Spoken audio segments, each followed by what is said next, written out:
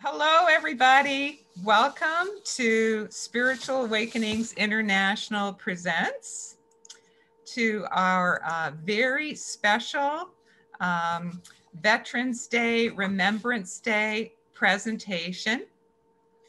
So uh, I'd like to say on behalf of everyone in uh, Spiritual Awakenings International, hello, bonjour, uh, willkommen, hola, buenos dias, buongiorno, and bon dia. Thank You. Uh, welcome, everybody. It's an honor and a privilege to introduce Reverend John Price. Reverend Price's impressive credentials are on the SAI website, but I'd like to emphasize a few of note. Reverend John W. Price retired in 2004 after 32 years in parish ministry in Texas but he's still serving as an assisting priest at an Episcopal church in Houston, Texas. Reverend Price was ordained as a chaplain at a rank of 1 LT for the Texas National Guard in 1965 and retired as the state area command chaplain with the rank of colonel in 1995, and that was 30 years of service. His pastoral counsel to the U.S. military members gave them some relief that they were perfectly normal but had been blessed with some type of STE. Uh, Reverend Price is author of the outstanding book, Revealing Heaven, the Christian Case for Near Death Experiences. Folks, Revealing Heaven is a highly recommended book for anyone interested either in heaven or near death experiences. Revealing Heaven is a powerful and exceptionally well written book, sizzling with insights that are both informative and profoundly inspirational. Now, near the beginning of Reverend Price's career, he began hearing about STEs and he sought more information. He discovered my website, the Near Death Experience Research Foundation, and the NDERF.org website we have shares. Reverend Price came across the NDERF website by asking the critical question well, what about a soldier? How does God, the Creator, review someone that has to kill for their country? There was a profound email dialogue on this issue on the NDERF website with an NDEer who experienced an awesome NDE where he was able to return with knowledge gained from the other side. As a result of this exchange, Reverend John consented to support the NDERF website by answering questions on their website for others to benefit and grow from from his remarkable and special area of expertise. Also, I'm delighted to share that Reverend Price today will be spending some time discussing the important topic of this being Veterans Day in the United States and what it means to him personally. We are very much honored to have Reverend Price uh, share more today on the matter of military service members who have STEs. Reverend Price, the floor is yours. Thank you very much, Jeff, I greatly appreciate the help you've given me over the years and uh, our friendship with you and Jody. Um, gracious, that's a nice introduction. Um, you would have thought I wrote it, but no, Jeff wrote it, which tells you how well uh, he's familiar with me and my work. I owe a lot of it to Jeff and Jody because in the conversations that he mentioned that I had with on with them on the NDERF uh, website, why I picked up uh, lots of accounts, some of which you'll hear this evening. Um, it's Veterans Day. Um, it's called uh, Remembrance Day in, in, in British territories. but I'm old enough to remember when it was referred to as Armistice Day in this country until that was changed. Jesus said, greater love has no man than to lay down his life for his friends. Mentioned that in the Gospel of John. I want everyone to realize that laying down one's life does not necessarily involve dying. Of the 13 million uh, American men and women in uniform in World War II, only 1 million died. It's a high death rate if compared with normal middle class American life but very acceptable in the light of the actions and the results that gave us 12 million more veterans. Then compare our losses with the enormous loss of life in the German, Russian, and particularly the Japanese military. But joining, taking that oath, putting on that uniform, doing basic training, then advanced and specialized training, going where the brass tell you to, and doing what they say is the epitome of laying down your life. It doesn't mean dying necessarily. It's told in the book of Genesis, Isaac laid down his life on the hastily built altar in obedience to his father Abraham, who was himself acting in obedience to what God commanded in the first ever draft call, if you will. And he didn't die, and neither did us who live to be veterans, thank God.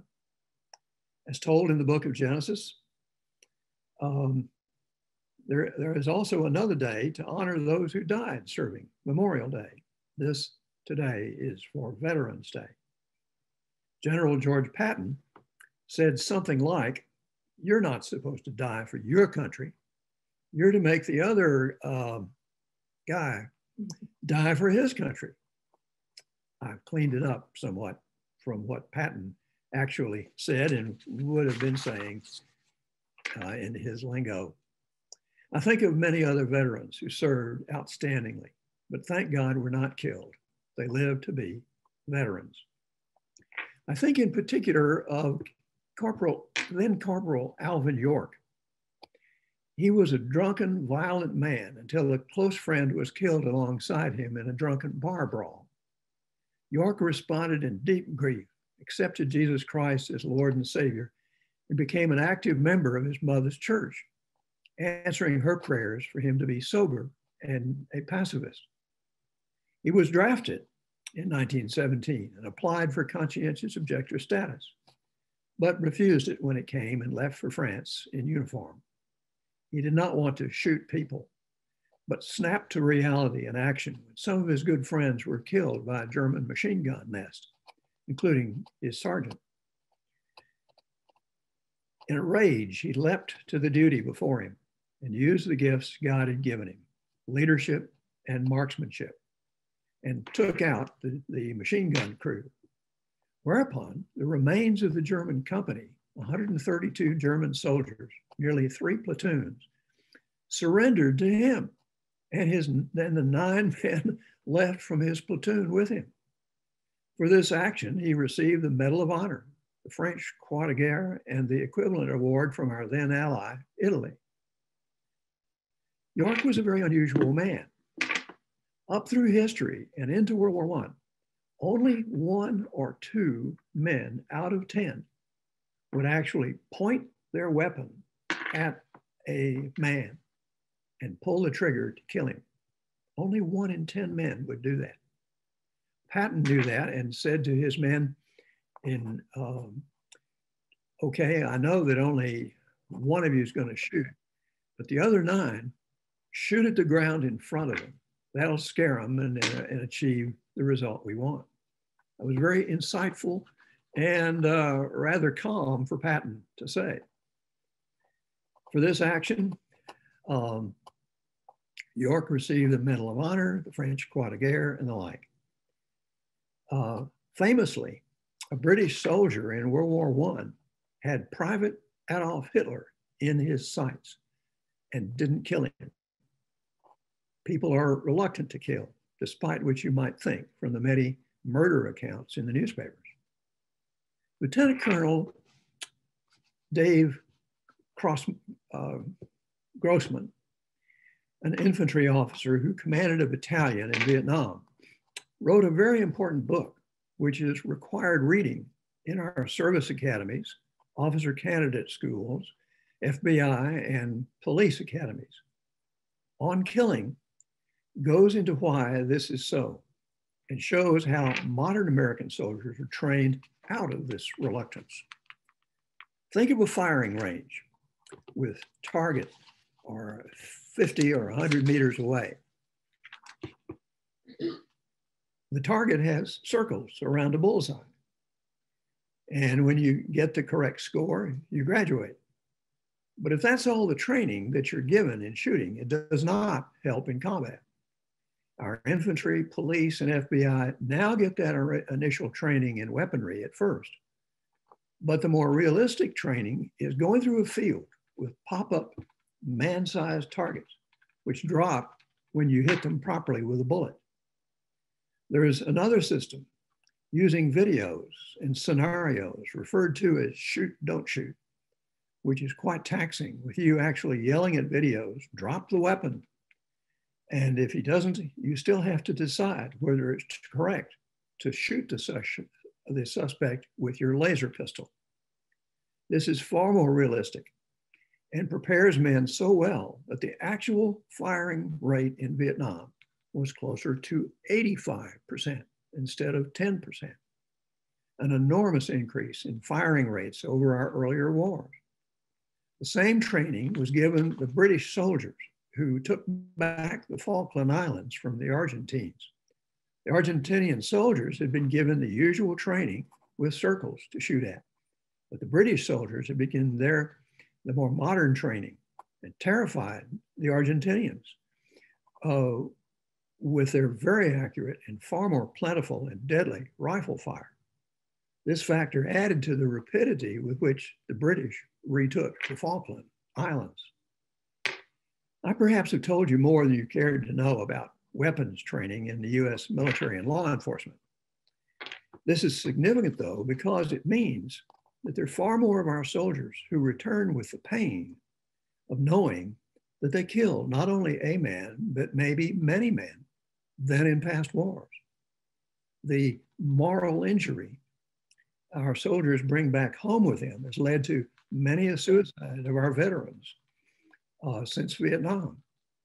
In 2012 alone, an estimated 7,500 veterans died from suicide. That despite greatly increased suicide prevention programs and techniques. That's about two brigades of, of troops a year, a whole division in two years, killed by the memories of combat and being efficient about killing other people.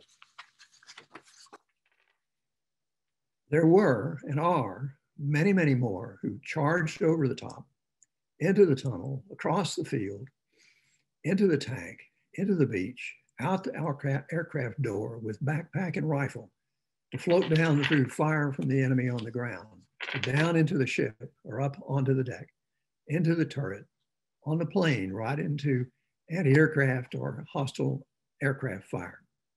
It was Navy Lieutenant George H.W. Bush who continued to fly his dive bomber after being hit right at the radio towers that allowed enemy command and control transmissions on the Japanese island of Chichijima to bomb them.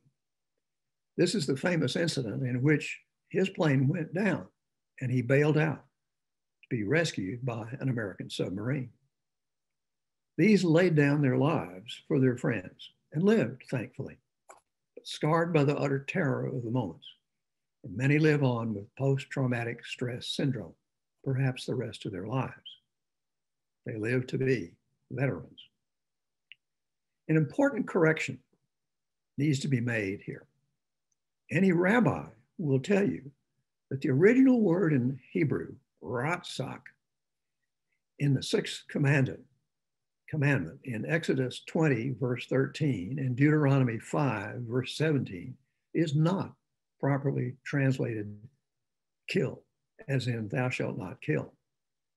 The proper translation of that Hebrew word is murder. You shall do no murder. The translators of the King James Version in 1611 got it wrong. And with the exception of the Revised Standard of 1951, every major translation since, including the new King James Version, has gotten it right. But thanks to 340 years of the wrong translation, it's solidly in the culture that the Bible says, Thou shalt not kill. Not so. And ironically, elsewhere in the Old Testament, God commands the Israelites to kill those in their way of retaking the promised land. So if the Bible is inerrant, as many conservatives maintain, this is an odd stance to take about not killing being one of the commandments. The implications of this mistranslation are still being fought out in discussions about capital punishment and warfare. Don't let anyone mislead you in any of those discussions. There may be valid reasons for not executing people or not going to war, but the sixth commandment is not one of them. I'm quite justified before God and Caesar in killing someone invading my house or country who might kill my family or me. But I'm forbidden by the Lord to murder you to get your pickup truck or your oil fields. And for us veterans and the other some 25 million veterans, we're observing Veterans Day. Some of us can remember when it was called Armistice Day, a title which was changed to honor the veterans from all wars. Additionally, I feel it's far more appropriate because the title Veterans Day honors the soldiers, sailors, airmen, uh, Marines, and Coast Guardsmen, far greater majority of those who served in all wars from 1775 to the present day. In a way to call it Armistice Day honors primarily the politicians and diplomats of 1918 who tried but failed to effectively end the war that was to end all wars in a way that the next World War would, would not have happened. To call it Armistice Day is to remember the failure of those um,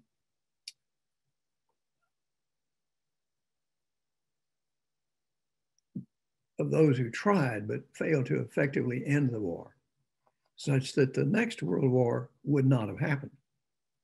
To call it Armistice Day is to remember the failure of those English, French, and yes, American politicians who were determined to humiliate the Germans by onerous terms.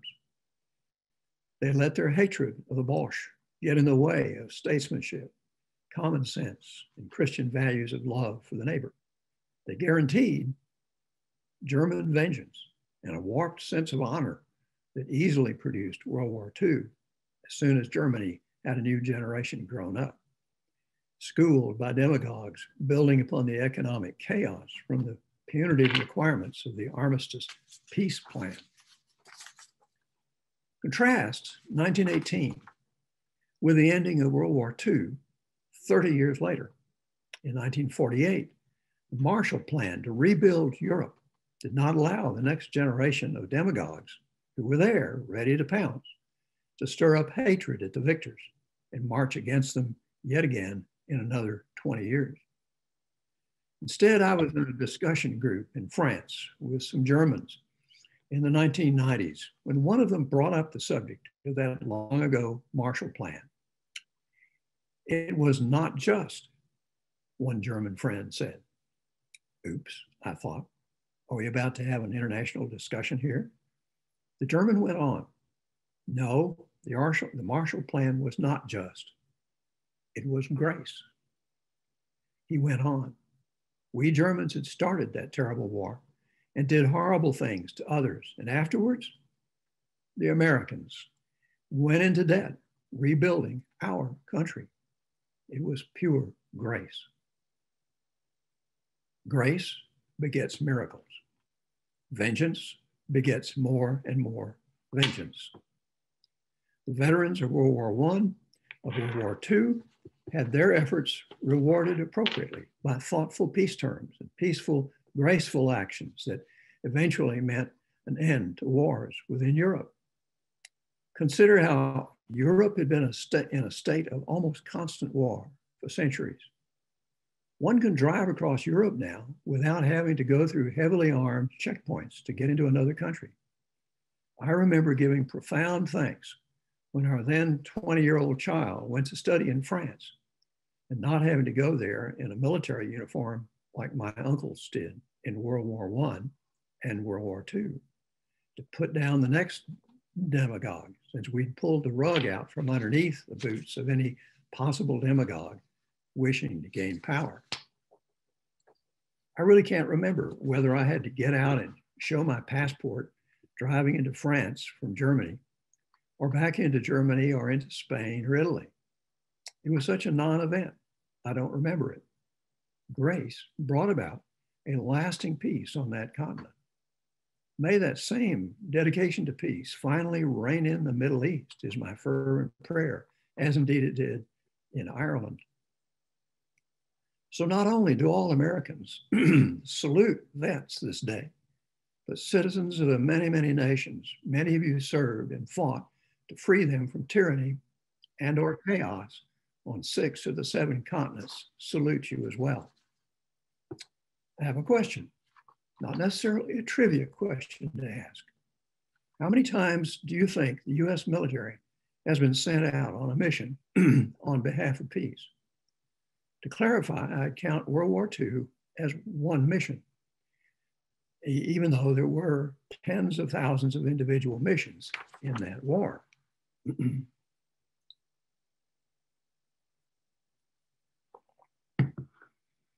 So, how many?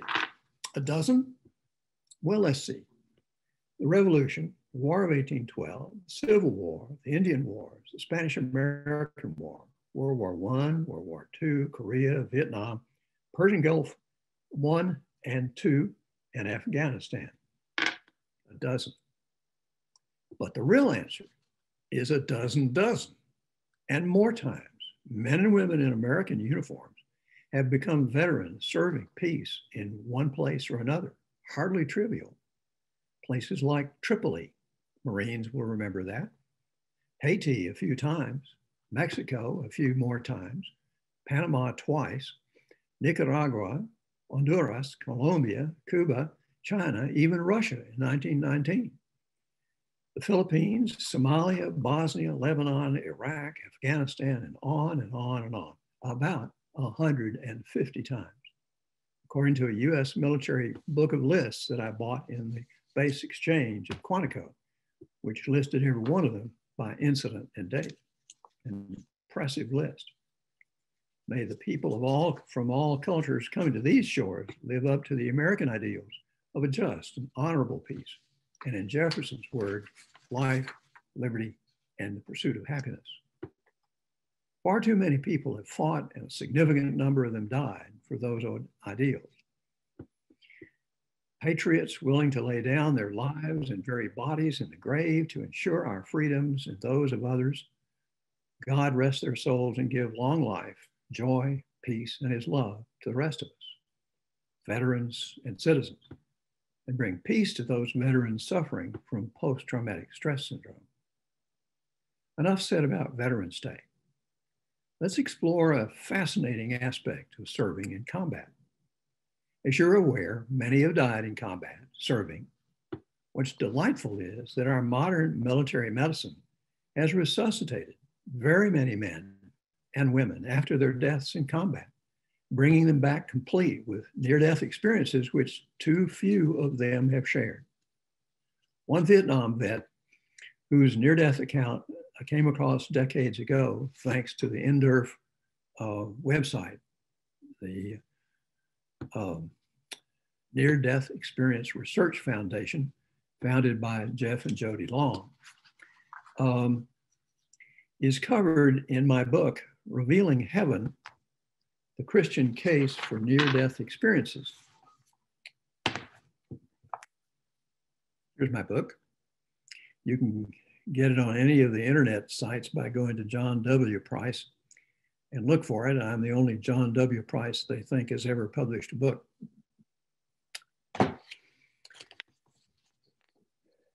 Um, he was one of these guys, the guy that I found on the uh, on the NDERF website.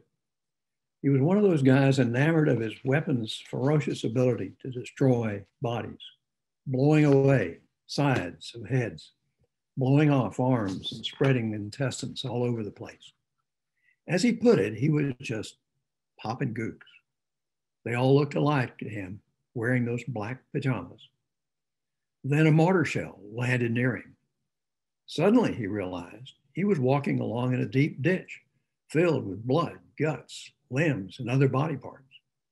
He looked up, and on the ridge of the, of the ditch, on both sides, were all the people he had killed, missing heads, sides of heads, arms, all pointing at him as best as they could, screaming and cursing at him.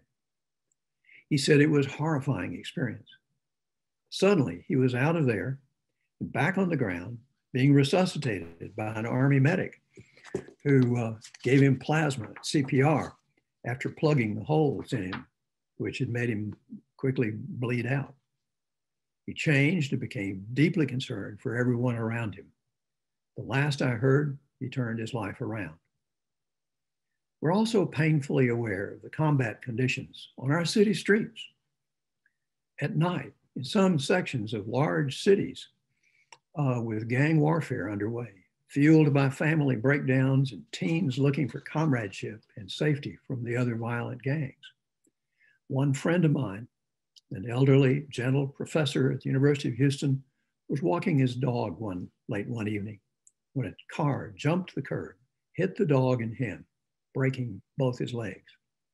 He was a long time recovering, lecturing from crutches in the University of Houston uh, classrooms. When he asked a Houston cop what was that all that about? He was informed it was most likely a gang initiation to find someone out walking and hit them with a car. So another friend, Justin, was in his late teens when he was walking home late at night on the streets of Houston.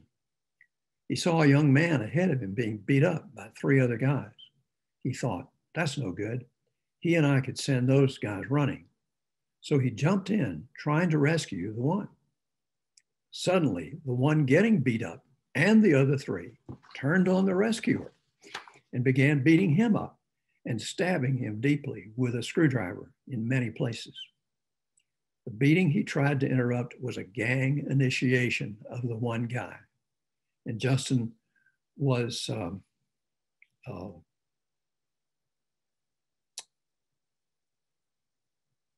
they found one, but of course the ER was on, well, they, friends arrived, chased off the four, put Justin in their car and sped off, trying to find a hospital with an emergency room. They found one, but of course the ER was on the other side of the large hospital. By the time they got him around to the ER, he had bled out. The ER team quickly resuscitated him with plasma and what was learned in Korea and Vietnam. The Army sends its medics, you may not know this, in training at, from Brooke Army Medical Center to level one trauma centers in various cities around Texas to learn how to deal with such combat wounds from the city streets firsthand. Justin's experience on the other side before he was resuscitated showed him how much of his teen years uh, activity was off from what he learned he should be doing. So he has reworked his life and considers his near death experience a good one to show him how uh, so much about how he should live. He's a neat guy. I turn out to be the first person he's discussed his experience with in depth and the great change in his life as a result. Dr. John Graham, president of the Institute for Spirituality and Health, part of the Texas Medical Center here in Houston, read my book and asked me to be on a panel discussion with Dr. Jeff Kripal, professor of comparative religions at Rice University, to discuss near death experiences. And as we were getting ready for it, he, uh, Dr. Graham asked, Can you bring someone who's had the experience? I said, How many would you like? He said, Just one. We don't have the time for more. So I said, I know just who I'll bring. She is Elizabeth Crone, who contacted me excitedly when I was on television and in the newspapers discussing my book back when it was first published. She had stopped in the parking lot of her synagogue in a thunderstorm when she stepped out with an umbrella to shelter her two small sons. She was killed by a lightning bolt that hit the metal pole in, in, it, in its center, burned the shoes off her feet. The two boys ran running, screaming into the synagogue where they ran right into their uncle. The uncle looked for his sister in law and saw her lying on the ground in a puddle of water, smoking. He bellowed into the synagogue, We need a doctor. As she put it, 40 doctors piled out of that synagogue, and the first one to uh, tour knew just what to do. The diaphragm and heart had been paralyzed by the shock. So he administered CPR and resuscitated her. When she got out of the hospital, she tried to tell her rabbi about being with the Lord, sitting on a bench, learning she was pregnant, would have a little girl who would be named such and such, who would become a nurse. Her husband would divorce her. Um, after she told him about this experience, it was time for Elizabeth to go back. When she tried to tell her rabbi after getting out of the hospital, he wouldn't listen to the story and dismissed her. Her husband divorced her, so she went quiet about the experience for 20 years until she came across my book. She met a new husband who um, was in bed with her one night at 2:30 a.m. when the phone rang. She answered it and was stunned. It was her grandfather, dead for a couple of years. The husband heard the following conversation. The grandfather was calling to tell her that her mother was trying to find an important document, but couldn't find it. I've been trying to tell her, but she can't hear me. So you tell her it's in such and such a location. And now this is exhausting and I've got to stop the call. Click. At this point, Dr. Kripal, the professor of comparative religions, got up and said, Yes, yes, there are two books out on this subject of after death communication um, through electronic means. The first instance, he said, was a telegram in 1913. Ironically, Alexander Graham Bell, who invented the telephone, was also what was called a spiritualist in the day, attending seances and the like to, uh, to contact the dead, and tried in his lifetime to develop a, an electronic uh, in- instrument like his telephone that the dead could call on. And he went to his death not knowing that he'd invented it. Uh, here is one of the uh, those two books, Dead Men Talking, Afterlife Communication from World War One. I'll read a portion of it. The background to this is that this young man had learned the joys of using a um, telegraph key and, and learning Morse code and sending messages he had an early uh, transmitting radio and, uh, and he taught his mother Morse code so that they could communicate back and forth. Then he was drafted into the Army in 1917 and went off to France. One evening, after he was over there, um, she heard the uh, code for answer the phone. It's letters C and Q, pronounced CQ. Seek you. Well, so she got on and she recognized that this was her son. Now, read from the book. Mother became, I'm alive and loving you, but my body is with thousands of other mothers' boys near Lens. Get this fact to others if you can. It's awful for us when you grieve and we can't get in touch with you to tell you we're all right. This is a clumsy way. I'll figure out something easier. I'm confused yet. Bob. So the mother goes on. So the news that my son had been killed came to me from his own intelligence by the methods we'd used together in our experiments here in this very room. And as I'm transcribing it, he told me to do all for all to see who can be convinced of its sincerity. Uh, a month later, official notice of Bob's death on the battlefield was received by the mother. She realized that Bob's first wireless message to her came not long after he fell. Before then, however, the mother had already received several additional wireless messages. The second one, Bob communicated attention, get this across. There's no horror in death. I was one minute in the thick of things with my company. And the next minute, Lieutenant Wells touched my arm and said, Our command is crossed. Let's go.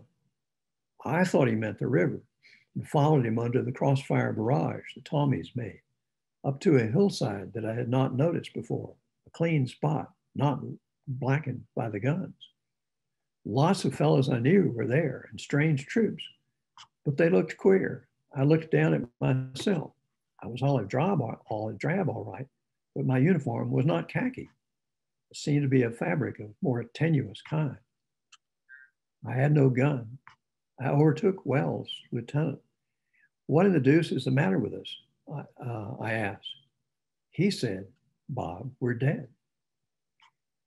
And uh, when we marched through the German barbed wire barricades in front of the howitzers, I realized that the body that could be hurt had been shed on the red field. Then I thought of you, sent the wireless from an enemy station in the field. The officer in charge couldn't have seen me, but he heard, I guess, by the way his eyes popped. He sent a few shots in my direction.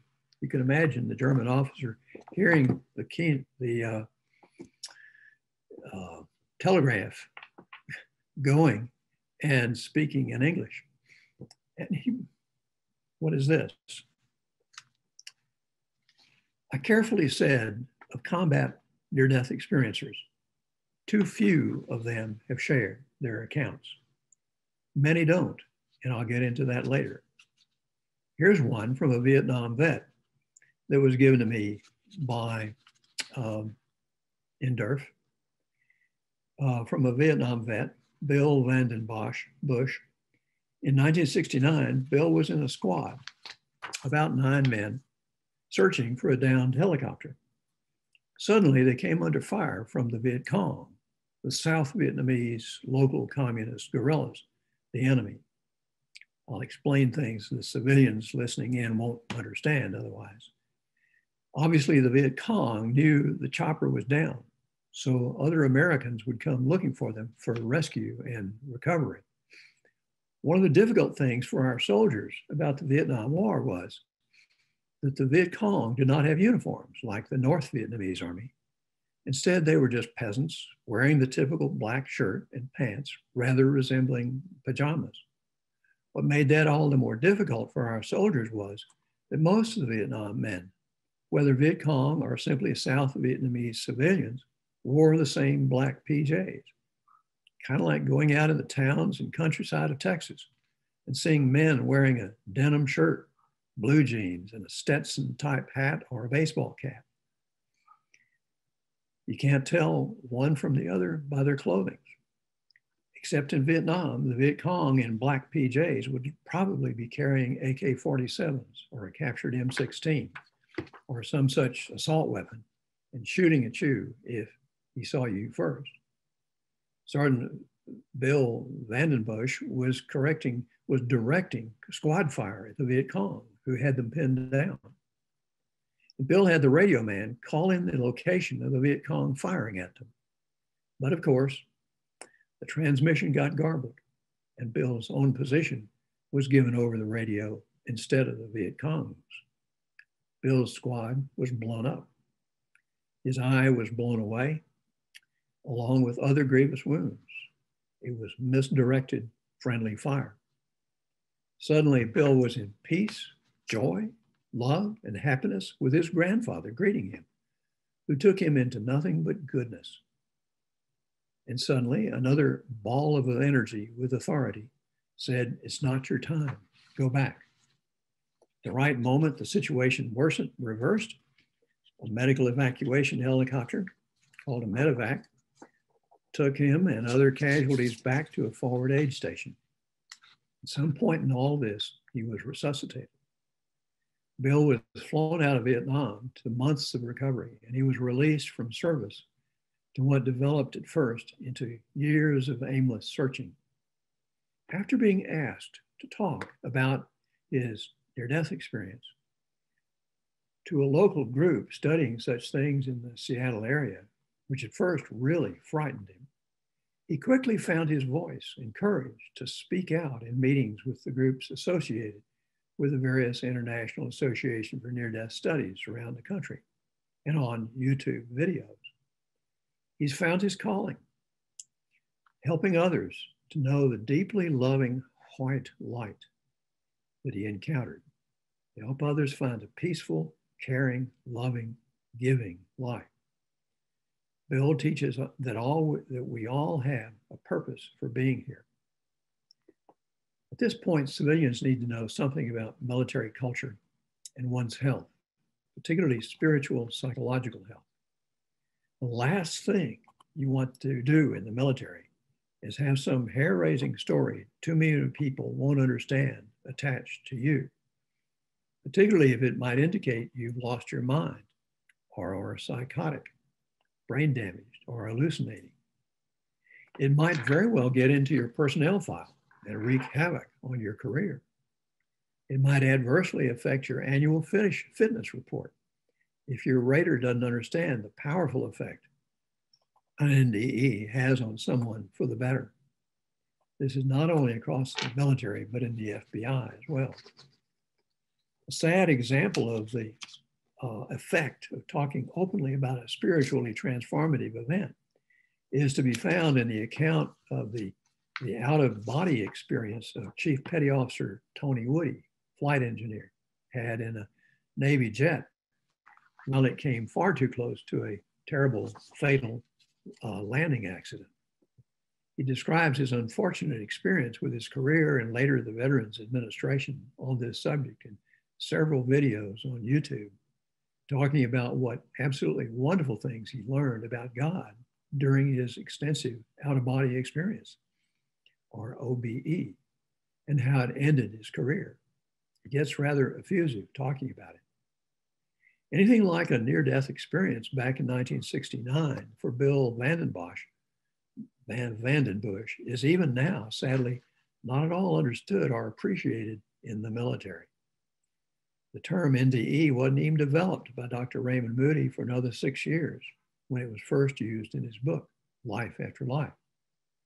Happily, his book sold many tens of millions of copies, and he's written several since, exploring deeper aspects uh, of the NDE. More people do know about NDEs, but lots of people still don't know, understand, or accept them, uh, and are very reluctant to even be open minded about it. I find that opposition is shrinking quickly. More and more books, magazine articles, and churches are holding meetings to discuss the subject. Keep it up. People need to know. I'll give you an example. I was the acting division chaplain for the 49th Armored Division in 1976 and at Fort Hood for my two weeks annual training. The chief of staff called me in to help a, uh, deal with a soldier in a jam. He'd fallen off a tank and had, a, had broken his leg. It was just a green stick fracture of his femur. The Army hospital had kept him for observation for a week and released him. Army surgeons can give orders for the care of a patient being released that the brass has to obey. This soldier was to be taken home, not to return to light duty with the National Guard. He could not go home in a convoy with his walking cast. And the chief of staff said, I don't know what to do, chaplain. I replied, I know what to do, Colonel. He won't fit in my Toyota Corolla, but he'll fit in your Ford LTD. Give me the keys to your car, Colonel we were friends, so I could get away with that. He did. I gave the keys to my driver and told him to bring the big white Ford on the other side of the wall to where the soldier was. I trotted over to him, whom I didn't know. He was easily spotted, the only guy wearing a walking cast on his whole leg. I told him I was going to drive him home to San Antonio in accordance with his surgeon's orders. I carried his duffel bag to the trunk helped him into the back seat so that he could stretch out his leg. And he was so impressed that a chaplain, a major, was taking such care of him that he decided to share his story with me. He told about his sniffing glue and paint in elementary school, marijuana in junior high, and going on to the hard stuff in high school. He dropped out of school and moved to California for the drug scene. One night he took a pill someone gave him and said it was the worst trip he'd ever had painful, terrifying. But suddenly he was at peace, in no pain. And he, just, he described going through a tunnel with a buzzing sound. He didn't claim to have died, but at this point, I was stunned and realized this was the sort of thing that Raymond Moody had talked about in his book, Life After Life, that I had just read the previous month. You see, I've been raised in my family to become a mechanical engineer by a very skeptical father with the authority of a PhD. He regularly scoffed at what were called spiritualists back in his uh, early years, people conducting seances to communicate with the dead.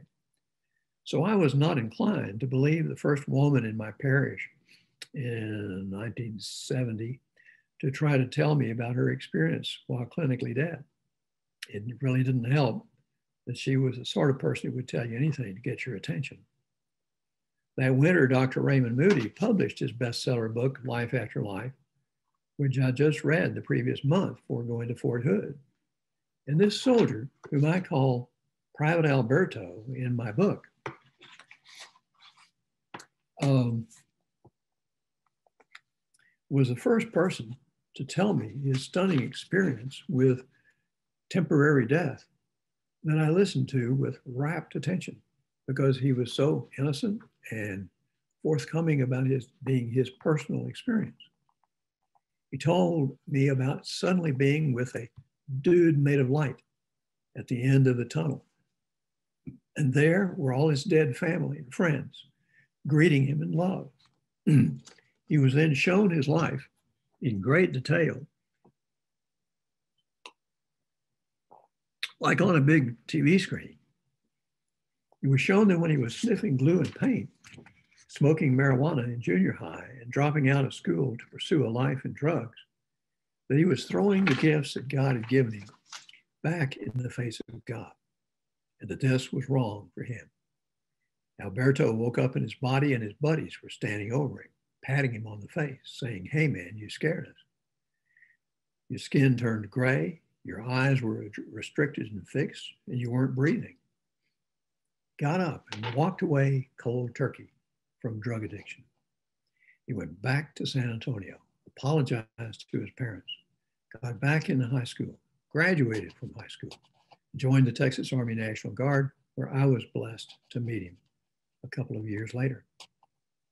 When I make the point in my book that those who've had NDEs need to talk about it, it's not only for their own benefit to fully understand what happened to them, um, but for others to hear the story and realize these things are real and to learn a lot about the peace of death and that it is nothing to be feared. My book on all of this is sold well.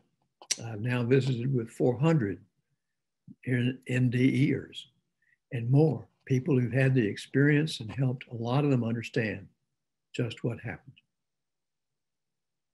Be at peace.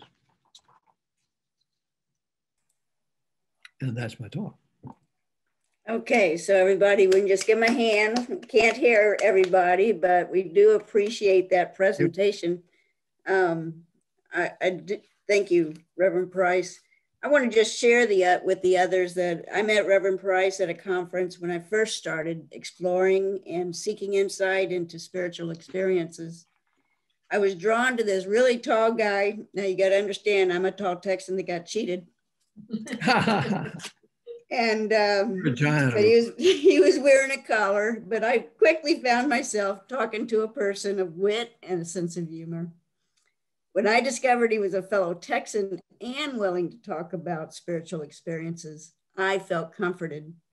I knew I had a battle buddy, somebody I could lean on, somebody I could talk to. We have managed to meet up at several other conferences since then. So I'm looking, uh, we don't really have any questions. So yet, if you have one, go ahead and put it in your chat box. And Reverend Price, I, am going to give you a leading question here. I see a picture over your right shoulder. Um, or do you have a photograph of yourself in uniform? You didn't wear your collar when you went out in the field, did you? No, I did not wear my collar. That would be out of uniform. Uh, uh, British chaplains get to wear a collar if they're a priest, but uh, no, no. For me, uh, the only thing it said chaplain was a cross on my lapel. You have a picture of you somewhere in here in uniform. Can you find? No, I. Yeah. My wife is offering uh, uh, her iPhone to, or my iPhone to find a picture of him. No, Okay. um, well, okay, I do have a question. This is from Yvonne. And she asked Have you heard any stories of military personnel having after death communications with their fallen comrades? And I know you talked about some, uh, two examples in there. One was in World War One. Uh, do you have more recent material on after death communications and how how does it help no. the veteran afterwards? I mentioned um, Elizabeth Krohn and Dr. Kripal. She's talking about military. The two of them got together and wrote this book, and it includes her story about her grandfather calling her dead grandfather in the middle of the night. She wants to know military. I know. She wants to be, she wants a story about military. I'd love to hear it, but I haven't heard one. I'm sure that this sort of thing happens. Um, okay. Um, I do have a long one here, so everybody bear with me. This is from Charles. On what is known as Remembrance Day by our friends and comrades in arms and democracy in our North, let us recognize the tremendous contributions to peace made by the soldiers, sailors, and airmen of the Canadian Armed Forces. Since World War II, Canadian forces have participated in combat operations in Korea during the Korean War, yes, in indeed. the provinces of the former Yugos Yugoslavia, in Gulf Wars, World War I and II, and Afghanistan. Canadian forces have been engaged in peacekeeping operations around the world in Cyprus, the Belgium, Congo, Sinai Desert, Golan Heights, Lebanon, Rwanda, and Timor. Certainly our closest and most cherished friends and allies. That's true. Our brothers across the border in Canada also have a tremendous military force and a great deal of veterans. Right. So, Canadians were into World War II before we were by a long shot, and World War One. Ah. Okay. I was uh, supplementing that dialogue, the question about after death communications. We did have Dr. Botkins, Allan Botkins, speak at a previous conference, and he has a process of inducing after death communications, and he came about it in a roundabout way, but he um, used it to help veterans. He had sessions with over 3,000 veterans using after death communications, and many times it helped them alleviate the cause of their PTSD because they were able to communicate either with somebody, a close comrade that had died and or somebody they had killed in the line of duty. And uh, so it was very, his book is very good. It's, it's called Induced After Death Communications. And it's a pretty extensive program. We tried to get it in with the VA to try to formalize a program, but as yet that's been unsuccessful.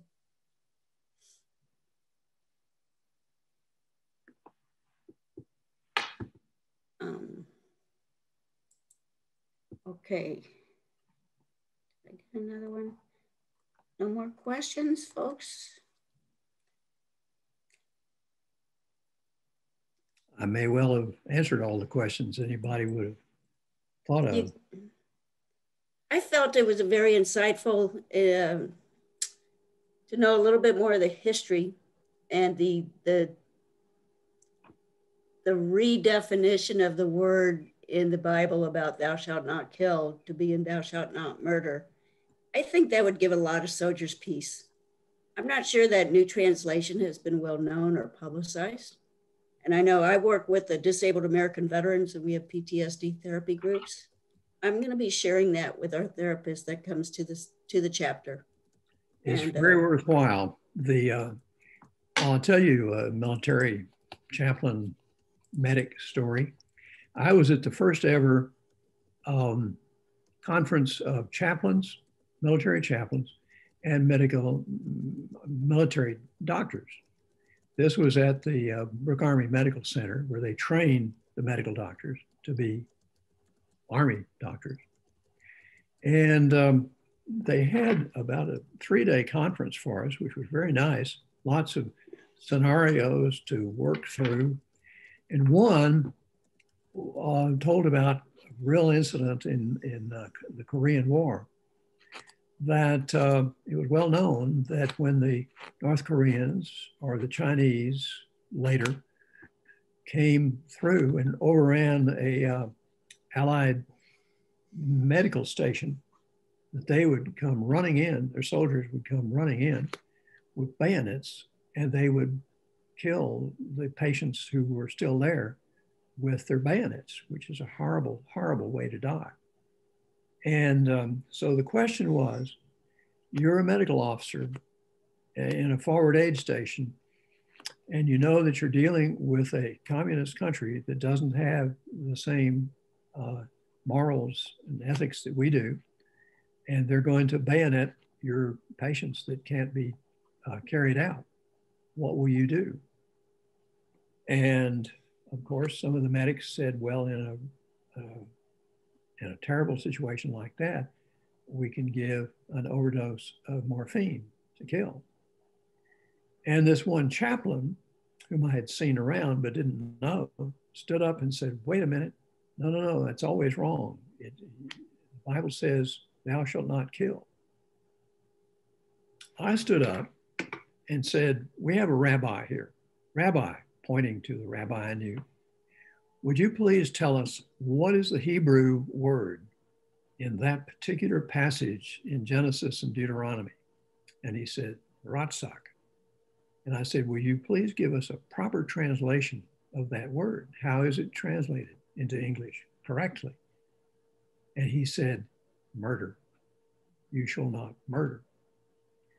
I said, This is um, something that I learned in seminary is that the original word is not whatever kill would have been, but Ratzak, which means murder. And in the earliest prayer books of the Anglican Communion, the uh, there was a page, there's a section in which the um, Ten Commandments is listed off, and we're to read it. And at the sixth commandment, it reads in those prayer books, "You shall do no murder," and that's the way it is in every Anglican Book of Common Prayer of around the Anglican Communion. Um, that it, and the Bible translations that we use now, the New Revised Standard Version, uh, it's it's translated correctly there. The two that are not accurate that I know of is, of course, the King James, which first messed it up, and then the uh, Revised Standard Version in 1951, which continued the mistake. But the revised King James, the new King James Version, has it has it translated correctly, as do as does uh, the New English Bible and the New Revised Standard Version and all the others. I have a stack of Bibles in the next room that has this and there are only two that are wrong is the King James and the 1951 Revised Standard. Okay, well, you've, I'm sure you have a much better resource library than I do on that. We do have a few more questions coming up. Yes, good. Okay, so we've got again from Yvonne. Have you found that veterans can have both PTSD and an NDE? Have any shared any um, having both type of experiences? The way it's put, I have not found, I've not come across someone with PTSD and a near death experience. I would think that a near death experience um, would cure PTSD um, because of peace and the complete understanding that someone gets of the Lord's ways uh, in a near death experience. That would be my guess. I'd love to meet somebody who had had PTSD and then had an NDE. or The other way around, whichever order things happened to him, I would be willing to bet because of the, the peace that people find through a near, near death experience uh, would cure PTSD. Now, having said that, for God's sakes, if you have PTSD, don't go commit suicide. because what I've also found with people who commit suicide and and uh, uh, others who, who, talked about this can, can back me up on this. Um, instead of going to Hawaii, it's like you go to West Texas. Bleak, featureless plain of an experience, uh, and still aware of all the problems that drove you to suicide, and also aware and being unable to do anything about them, and being aware of the pain and grief that you brought to your family and friends at your suicide. So, suicide is not an answer to problems. Um, stick it out and, and deal with it better and, and, uh, and get some help. But if you've got PTSD, suicide is not a good answer. I would like to expand on that a little bit also, in that we have a speaker on November 21st. If you go to our events page, um, where an individual, he's a civilian, not a veteran, but he had an, an NDE profound and he kept trying to share it with people. And the rejection of his account over and over and over sure. stimulated what he calls his PTSD because the what was a reality to him was being denied by so many people. Right, exactly so, which is why people with an NDE,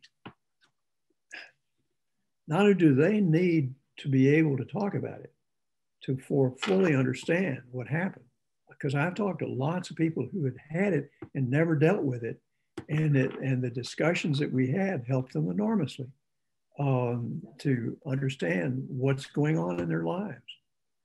Um, give you an example. I'll give you an example. I talked about Elizabeth Krohn. She called me frantically about three months after my book came out because she just discovered my book in uh, and me and the television interview that I had and uh, in the newspapers. So we had a four-hour lunch in which she told me about various problems. And during the lunch, I looked at her wrist and I saw that there was no wristwatch. Clue. There was a Fitbit. And I said, And how is that Fitbit uh, serving you? And she said, Not well at all. This is my third one. They keep wearing out on me. I said, No, they didn't wear out on you. You wore them out because you have come back from your near death experience with a um, electromagnetic field around you and it runs down the batteries. And that's what's happening. Give it up. You'll ruin every Fitbit ever made if you keep going through this. Um, and there are other diff- there are other some of them are difficulties, some of them are usable gifts that some NDEers come back with. For example, seeing auras around people of different colors that have to do with the uh, character of the person. I was walking down the street and a policeman came trotting over to me and said, I want to meet you. You're a fascinating person. And I thought, what is this? And I was not dressed like this. Um, I was just walking from my house down to Whole Foods. And uh, uh, I, th- I thought, what is this? And he said, no, no, no. I want to, uh, I would need you to go down and get the battery charger because this thing is now down to low percentage. And um, uh, I said, I thought, what is this? And he said, no, no, no, I want to meet you. You're a fascinating person. And um, I said, well, I've introduced myself. And uh, he said, something told me book, tell him about the book. So I told him about my book. And he said, that's it. I had the experience. Oh, really? He told me his experience. And we talked about that. And um, um, then I said, well, how did you know to talk to me? That I'm a fascinating person? He said, sir, it's your aura. I said, Really? You see my aura? Yes, he said, it's a beautiful aura. Um, quite a compliment.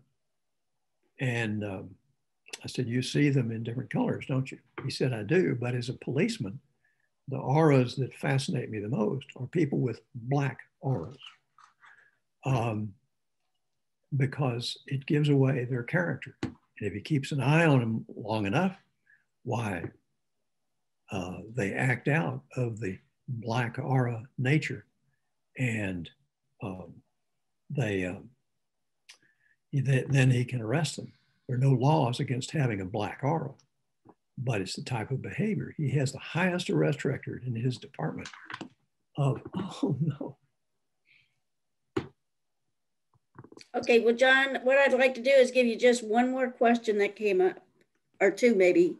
Um, Get me have any of the veterans you encountered mentioned the term Valhalla as a place they were at during their NDE? I saw that question and no, Valhalla was not a term that they used.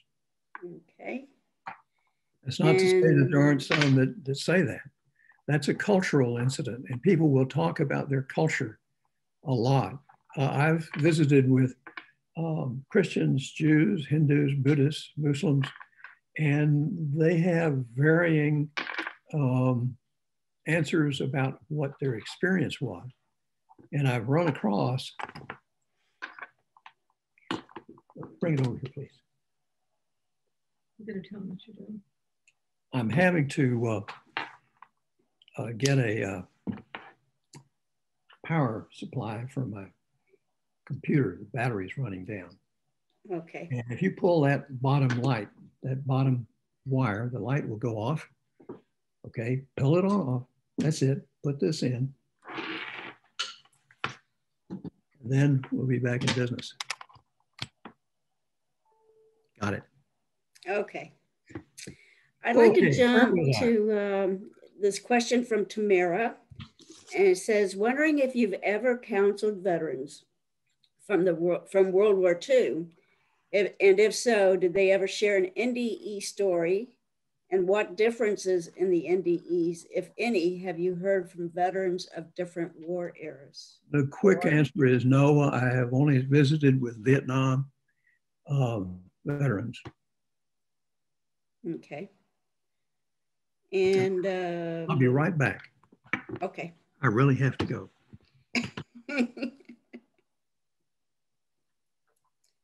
Uh, while he's absent, Robert, could you maybe give us a little insight into our presentation coming on November 21st?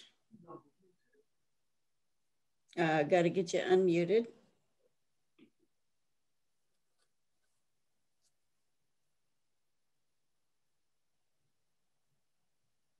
Try talking.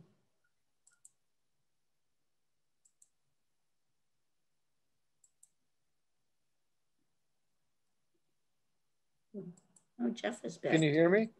Now we can. We got you now. I would love to. Uh, first of all, I'll just go ahead and put this out there while, while, while Reverend Price is is uh, not here right at the moment, but SAI would like to thank him for his presentation. I thought it was awesome, and and we'd also like to thank um, our- his co-sponsor, Dr. Jeffrey Long, and his uh, NDERF organization thank you for the, for all the effort you put into it, Dr. Long. It was uh, that was one of the greatest intros I've ever seen anybody ever ever give anybody, and, and thank you for that. Um, November 21st, we're going to go across the pond, and Raymond O'Brien uh, is going to be our uh, guest presenter, and he's fascinating. I think you'll really enjoy him. Uh, a seer and near death is his topic. So, whoop, Reverend Price is back. So, back Great. to you. Okay. Well, we almost made it to the end anyway. We I do have um, one more question for you, and this was from Yvonne, or just a comment. In yoga, um, ahimsa or nonviolence is translated as do not have the desire to do harm to others. We are fully entitled to defend ourselves our families, and our countries. So that pretty much coincides with what you are sharing. Sure. And uh, yes, I think that's a probably a universal concept across all the different cultures. I, interestingly, on the subject of uh, warriors talking about Valhalla, uh, one of the interesting groups that I spoke to um, about the near death experiences was in Oklahoma. Uh, it was a group of social workers, and a significant number of the social workers were Native Americans who had had the near death experience. And um, whenever I go to a group, I ask how many of you had near death experiences? And quite a few hands went up. And I said, please uh, talk about this. And some of them uh, talked about their near death experience, uh, including cultural aspects of being a Native American. And um, um, I've found that people are greeted by the ones that mean the most to them. Uh, quite a few Christians say that uh, Jesus greeted them. Interesting story about that is that um, um, when Colton Burpo had his near death experience with a bad um, uh, appendix operation, he went back to his father's church because his father was a pastor of a um, Wesleyan church there in Nebraska. And as he walked through, he saw various paintings purporting to be Jesus. And the little boy said, That's not Jesus. And then um, um, he saw the painting done by the Ukrainian woman that grew up in this country of uh, uh, Jesus. And he got all excited. He said, That's Jesus. That's Jesus. That's who was there. So I later put that picture of Jesus on um, some of the Facebook pages of near death experiences. And I said, For those of you who saw Jesus during your, your uh, near death experience, is this who you saw? And half of them said, Yes, yes, yes, that's who I saw. Well, the painting very accurately shows a Middle Eastern man, whereas some of the other paintings of Jesus were not really a Middle Eastern man. So we have that to go on. Um, Arlene, where's my cell phone? Can you?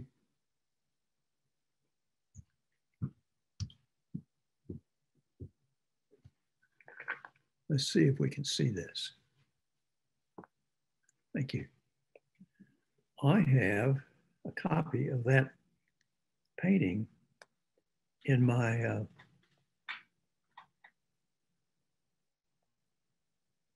what? In my cell phone. As a as oh is that too bright?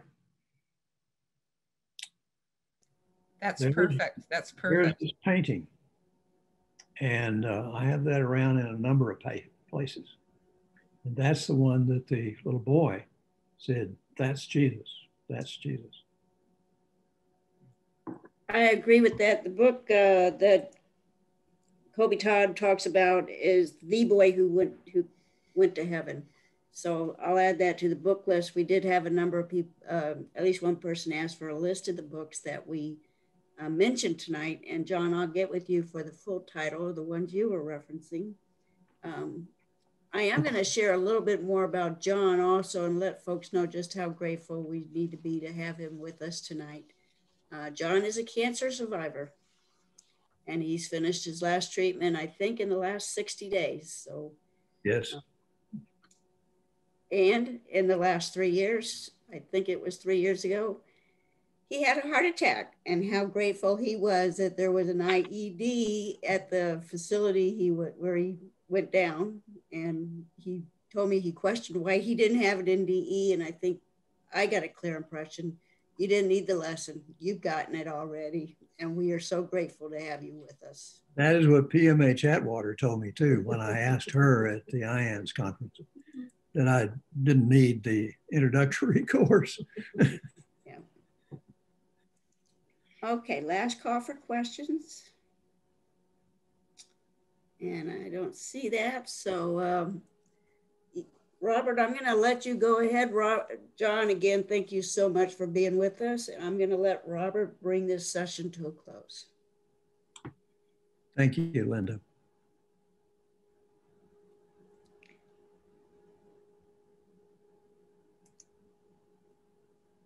Got to unmute Robert. Unmute Robert. There we go, Robert. yeah. I want to thank everybody for attending uh, this presentation. It was wonderful. Reverend Price, thank you so much for all the effort you Good. put into it. And I'm going to turn it over to Yvonne, Dr. Kason, to finish and complete the, the presentation. So on behalf of uh, Spiritual Awakenings International, I want to uh, thank you, Reverend Price, for the wonderful presentation today, our inaugural presentation of the Veterans Military and First Responders Program. And uh, thank you everyone for coming. And we will see you all hopefully on November 21st, which is our next uh, Spiritual Awakenings International Presents events for uh, uh, Raymond O'Brien, a seer and near death. So I oh, will now say. It's very appropriate that you, Dr. Kason, are uh, running this and, and invited me to participate because for Veterans Day, because in the Army, kind of the Army song is may the caissons go marching along.